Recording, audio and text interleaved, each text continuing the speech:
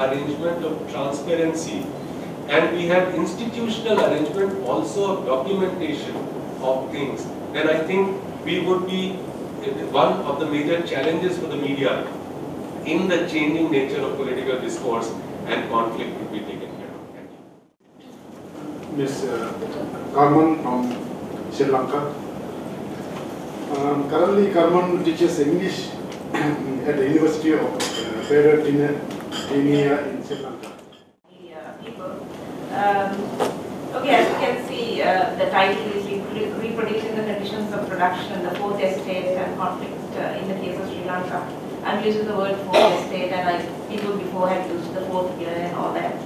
Now, uh, I don't think uh, it's news to anybody in this gathering that uh, Sri Lanka is at a poli- political crossroads of uh, sorts right now uh, in the immediate aftermath uh, of the civil war that just concluded in May 2009.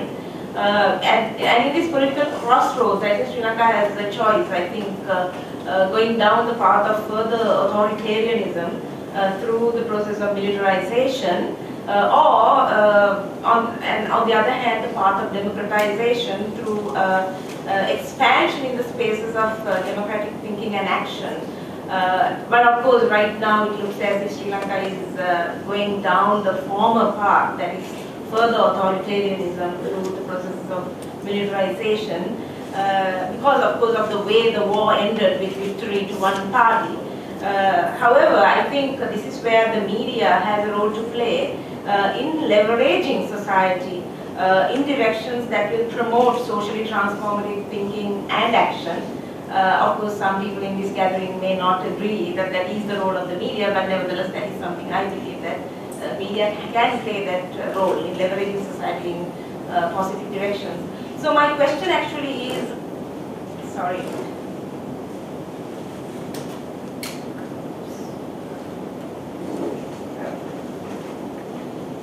Right, my question uh, is, has the media seized upon or is it ready to seize upon the socially transformative potential afforded by the present historical moment and that is the immediate post-civil war moment in Sri Lanka where I think we can take stock and decide uh, in which direction we need to move.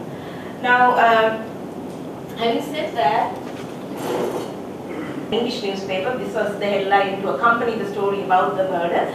Uh, you can see there's no reference to caste uh, in the in the headline, uh, nor in the in the full article, full one-page uh, article uh, on the subject. So only one newspaper, perhaps falling under the category of alternative media, actually uh, cited the, the likely cause of caste. Now, according to this newspaper, the doctor as well as the majority of the villagers in this town, or people in this town, belong to a depressed caste. Caste from which very few people actually make it up the social and polit- economic ladder of success, right? So they were kind of, they thought that when the police actually took time to uncover the, the murderer, that it was actually yet another, uh, you know, uh, uh, an indicator of caste-based discrimination. Uh, and that was the reason that it happened. Uh, now, so caste is, uh, is, has been around uh, among the Sinhalese, you know, throughout this period, and also making a resurgence in the Tamil-dominated north and east at the end of the war, right? So I don't think we can sort of ignore that caste. Might as actually. So I, I, my question is, why doesn't uh, the media recognize the insidious operation of caste in social relations? Because one cannot work, sort of wish, wish caste away uh, by not talking about it. Uh, okay, so let me move on to uh, the print media on the woman question. Now, unlike caste, gender is not at all a taboo topic. Uh, you know, on the uh, uh, on the social and political canvas of Sri Lanka. So, therefore, the question is actually not so much on whether the media provides space for the discussion of gender issues, but how they do it. So the media is actually not hostile to highlighting uh, women as victims of particular social and uh, economic processes, but the media has difficulty processing, I would say, the discourse uh, on women's rights uh, as seen from the kinds of cartoons that make their appearance every Women's Day, International Women's Day on March 8th. Uh, you know, uh, and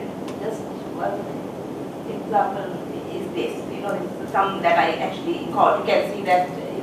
You know, one really takes, one of course sort of shows this dichotomy between the upper class, the women who are the activists, women's activists and feminists, and of course the, the gap between them and the, the second cartoon on that side, uh, you know. Uh, so, uh, and there was one editorial uh, not too long ago, a single uh, mainstream newspaper editorial, they actually talked about uh, women's activists as alcohol guzzling lesbians or something.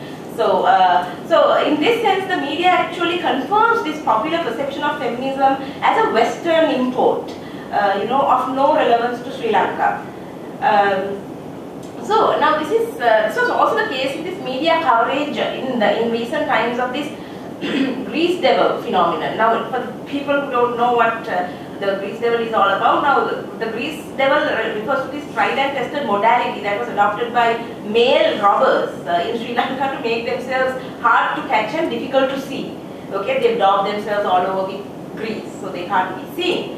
But over the last uh, uh, three months, uh, this year, uh, this uh, this uh, grease devil became this ubiquitous uh, sort of uh, uh, the occasional grease devil became like a ubiquitous kind of phenomenon uh, to appearing to all women of all Sri Lankan communities in Sri Lanka, uh, and uh, you know irrespective of ethnicity, caste, class, uh, you know religion, whatever.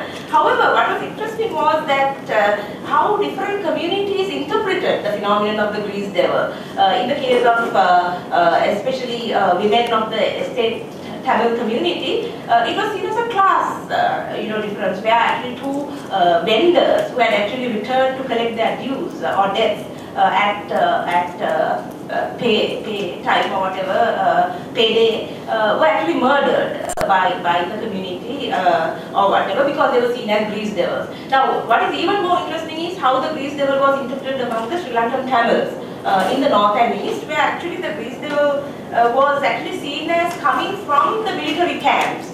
Because in the north and east, where which was the theatre of war, there are a lot of uh, military camps, and the military, of course, is seen as identified with the Sinhala Buddhist uh, majority and the manifestation of Sinhala Buddhist uh, hegemony. Uh, and this grease devil was seen as coming out of the camps and, and being given refuge in the military camps. And it led to tensions, and as a result of which uh, a policeman was murdered uh, by, by, by one segment, uh, and also some people were arrested, and it led to widespread discontent with police, sorry, the Tamil political parties becoming involved and all that. Now, what I'm interested, of course, in is how the media portrayed uh, this Grease Devil phenomenon. Now, to the mainstream Sinhala and English media, uh, you know, the phenomenon of the Grease Devil was largely from the point of view of th- this immediate news value and the kind of the sensationalism, uh, and there was really no attempt to probe the reasons why women of all communities cited the Grease Devil uh, at around the same time, and also why the Grease Devil took on different incarnations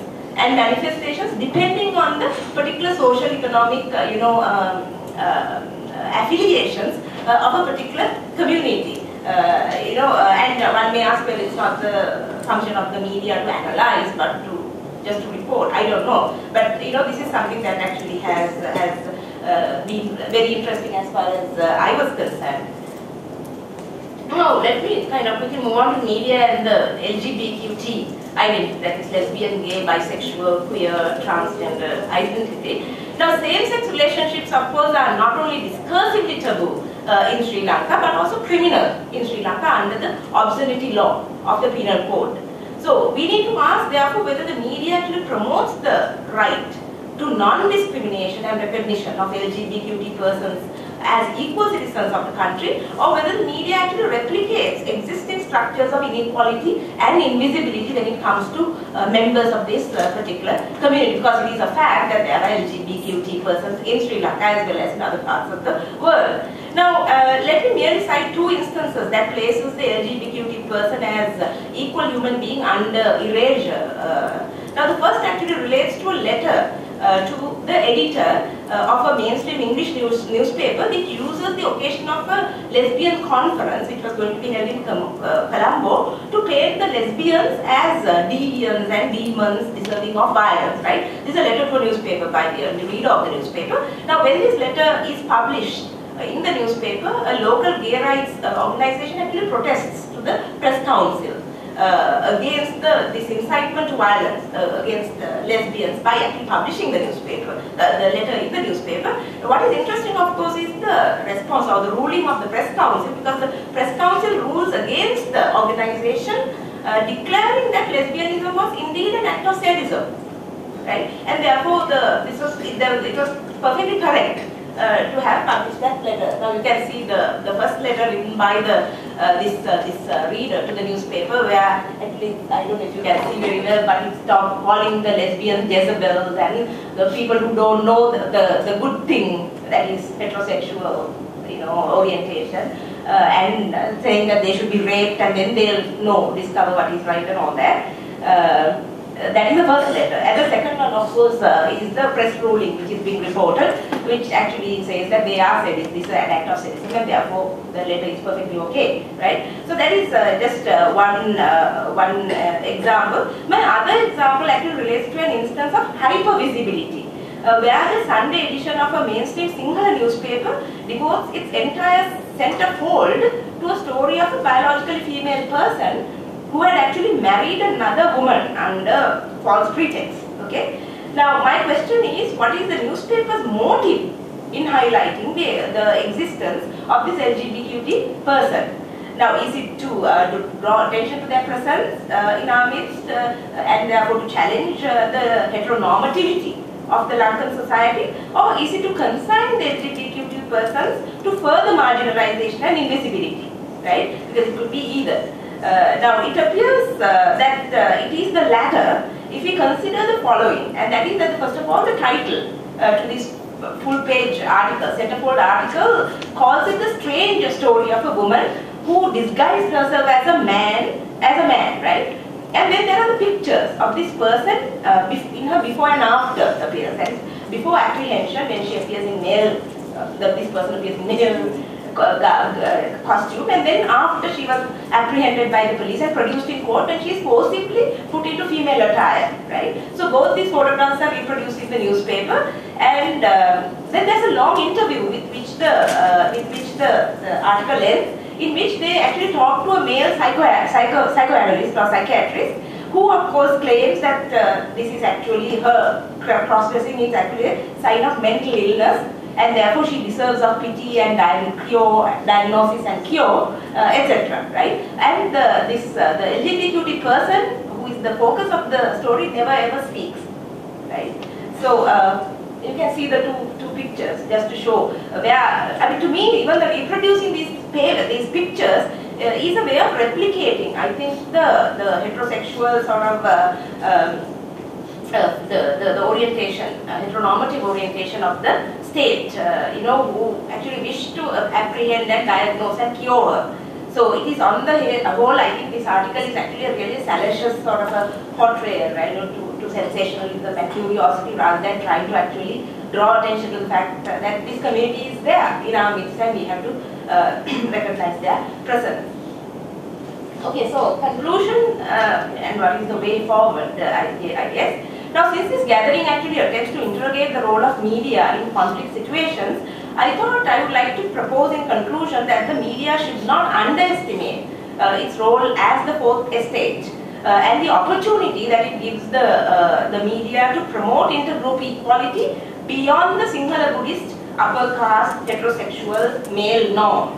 Uh, in, the, in the case of Sri Lanka, that's quite a mouthful, but I try to get everything in. And note, note that the constitution, of course, guarantees non-discrimination on basis of caste, class, gender, region, uh, religion, etc., but definitely not sexual orientation, right?